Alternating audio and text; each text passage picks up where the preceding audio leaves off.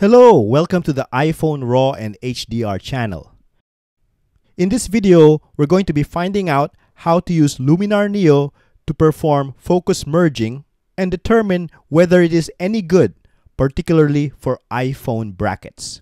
Luminar currently costs $150 for a perpetual license, and that includes a RAW editor, focus stacking, and HDR merge. It is more expensive than Affinity Photo, which costs around 75 US dollars for a perpetual license. However, it is important to note that Luminar has a multitude of AI editing features like Mask AI, Lens Blur, Generative AI, Sky Replacement, and many more, which Affinity lacks.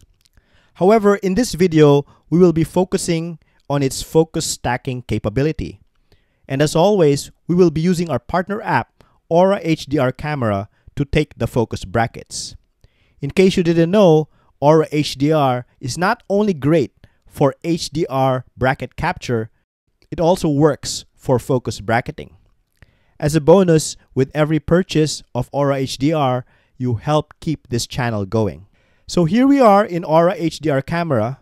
The steps for capturing focus brackets is the same as in previous videos. To focus bracket, set the shooting menu to focus bracket. Next, tap on a part of the image to focus.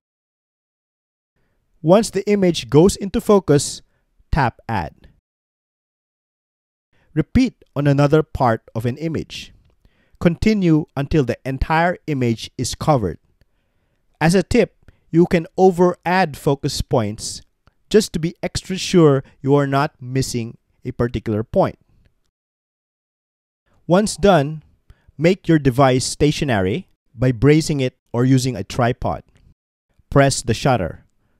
Aura HDR will take a series of shots at the various focus points you have specified. Once all the shots have been taken, a focus bracket done message will appear. By the way, as I was inside a cafe, I did not use any tripod for this shot, just to show that you don't need to use a tripod to focus bracket. Transfer all the shots from your iPhone library to your PC. Once transferred, open Luminar Neo. So here we are in Luminar Neo. The first step to focus bracket is to add the folder of images.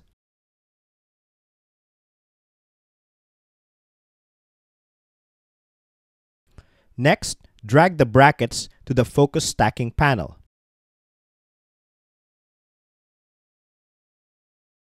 Ensure that image alignment is enabled. Once done, click the Stack button.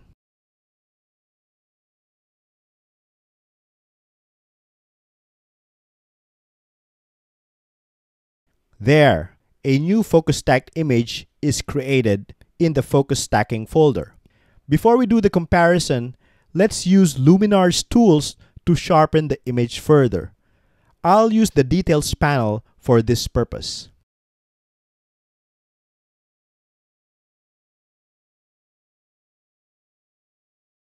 There, the edit is done. Let's compare the focus stacked image with a single bracket. Here is the single bracket, and here is the focus stacked image. As you can see, a huge difference. The focus stacked image shows sharpness throughout the cup, while the single bracket looks soft the further the area is from the focus point. So I think we can conclude that Luminar Neo is a worthy app for focus stacking. Let me know which app you use for focus stacking. I'd love to hear from you. And do consider Aura HDR camera on the iOS App Store, the best app for focus stacking, HDR merging, and computational photography. See you in the next video.